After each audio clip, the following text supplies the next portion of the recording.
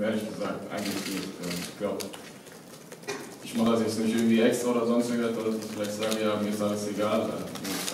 Wenn ich schlecht spiele oder die Mannschaft spielt schlecht oder sonst irgendwas, ist mir natürlich nicht egal. Ähm, ich will natürlich, dass wir natürlich alle zusammen immer sehr gut aussehen, dass wir unsere Spiele gewinnen und unsere Punkte holen. Und äh, ja, und ich denke, dass das vielleicht für einen oder anderen das dann manchmal so aussieht für den, dann ist es okay für mich, ich habe damit kein Problem. Auch, Kritik, ja.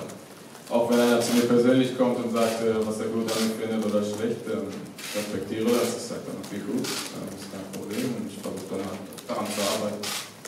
Die Geburt Ihrer Tochter sich verändert? Nicht viel. nee, ähm, klar, ähm, muss ich natürlich jetzt noch auch neben dem Platz viel mehr äh, Verantwortung tragen, ähm, auch für sie. Und ähm, nee, aber ich bin froh, dass sie jetzt da ist. Und ähm, ja, jeden Tag, wenn ich nach Hause komme, äh, freue ich mich, sie, äh, sie, sie zu sehen.